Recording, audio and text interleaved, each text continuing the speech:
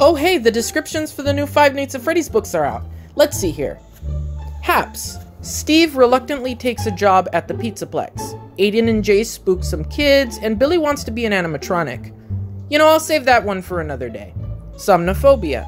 Sam's scared of everything, Grady's claustrophobia gets the best of him, and last but not least, Luca is horrified by the Springtrap costume located in Security Breach's roleplay room. Wait, what?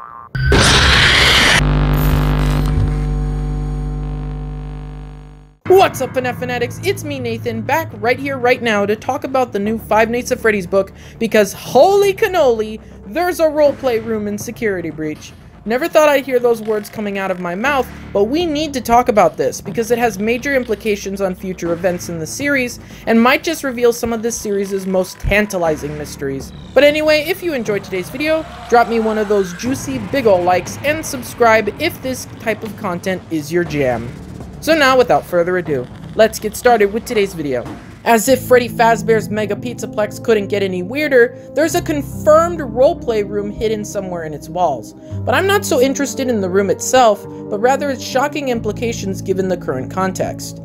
Now admittedly, we don't have much to go by, but based on the information we have, it strongly suggested that Springtrap is in this room. And I'm not talking about the one housing the crippled remains of William Afton, but rather the one and only Springtrap from Five Nights at Freddy's 3. But Nathan, I hear you asking, isn't Springtrap referred to as a costume, therefore he's not the real deal?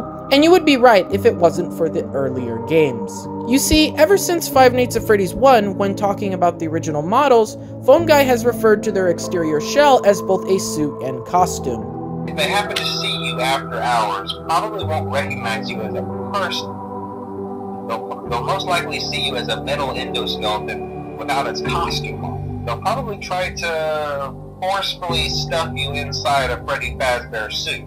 Now, that wouldn't be so bad if the suits themselves weren't filled with cross beams, wires, and animatronic devices. If you happen to get caught and want to avoid getting stuffed into a Freddy suit, uh, try playing dead. You know, go limp. Then there's a chance that uh, maybe they'll think that you're an empty costume instead. And in Five Nights at Freddy's 3, we learn that this same principle also applies to Springtrap. Hello? Hello, hello? Uh, welcome to your new career as a performer slash entertainer for Freddy Fazbear's Pizza. Uh, these tapes will provide you with much needed information on how to handle slash climb into slash climb out of mascot costumes. Judging from what we know about the Springtrap costume, it having a chilling effect and all, there's a good case to be made that it was in fact an original costume and not a cheap tacky one made at a later date. But even if it was real, why would Fazbear Entertainment use it for roleplay? After all, this costume is referred to as Springtrap, not Spring Bonnie, and it's impossible for anyone to know him as he is unless they were present for Five Nights at Freddy's 3. Well, recall that in the universe of the games, Fazbear Entertainment made a VR title to cover up the company's dark past. This game, which we know as Five Nights at Freddy's Help Wanted, brought to light many characters and locations from across the franchise, including those never before seen by audiences. So, what does this have to do with Springtrap? Well, nothing. Other than the fact that he's present in this game, appearing as his ruddy, withered self, not as the polished form of Spring Bonnie, which audiences formerly knew him as. If we are to assume the VR game was distributed commercially, which seems to be the case, then everyone should know about Springtrap and wouldn't respond negatively towards seeing him in the Pizzaplex, because he's not real. It also explains why Luca refers to him by name instead of by his appearance, because he too has played the game. Now that I think about it, the roleplay area is probably just a game of Five Nights at Freddy's, where one person dresses up as the night guard and the others as animatronics. The room itself is a makeshift pizzeria, and they have flashlights and other tools so they can recreate the experience. I swear, Scott, if this is a power move to make Five Nights at Freddy's canon in Five Nights at Freddy's, then you are unarguably a mad genius. Imagine characters in universe saying in the future, Oh yeah, I played FNAF as a kid, and it's just this silly playground game. Wait, childhood game? Deadly murder? As I was saying, there's also the fact that if Springtrap is a costume, who's to say they don't have other important accessories in the wardrobe as well? We could be seeing a return of the classic suits, or masks worn in the fourth game, which could definitely hold an otherworldly entity. Curse of Dreadbear also had its fair share of masks, and who could forget the animatronic box from the third game, which could very well have been salvaged from the wreckage of Fazbear Frights. As for implications on Security Breach, remember how the game ends with Vanessa still being alive? Well, if they're not the same character, it could explain how Vanny was able to impersonate Vanessa and gain control of the Pizzaplex.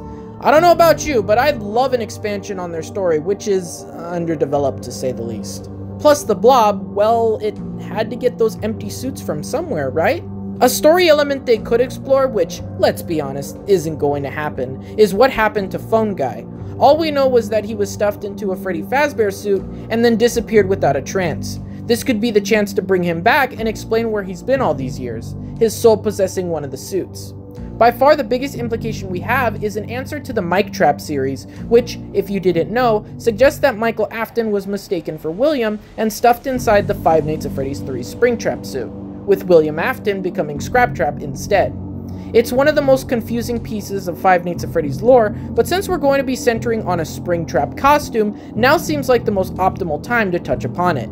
I mean, heck, not even the Freddy Files, a book literally dedicated to solving mysteries, contained the long overdue answer.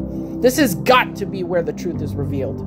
Unfortunately, we won't be finding out anytime soon because this book is slated to release in November, over 8 months from now.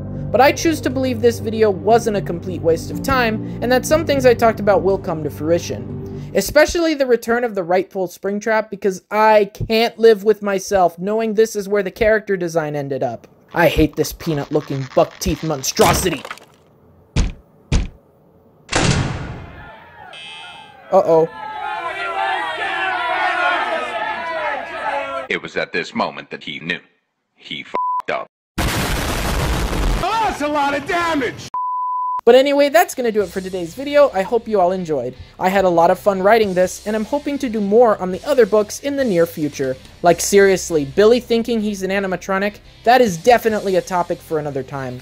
As for today though, what did you think about the content of this video? Do you agree or disagree that this book has future implications on the Five Nights at Freddy series? What events do you want to see play out in the book?